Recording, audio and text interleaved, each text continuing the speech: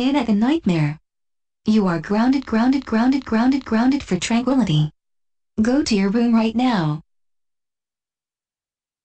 That will teach that lilac-colored version of Dora the Explorer a lesson for always trying to bully other people, especially me. Look, Mom, that's her, right there, the one who grounded me for tranquility. And you deserved it. That's what you get for bullying other people, especially good users. That's it. You are grounded for tranquility. Go to your room right now.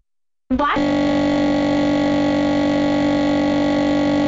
Ariel, thank you for grounding my daughter, who is also Ludmilla-colored version of Dora.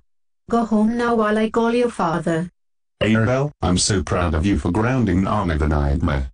I really hate that Ludmilla-colored version of Dora the Explorer. For that, you're ungrounded. Thanks, Father. You are the best.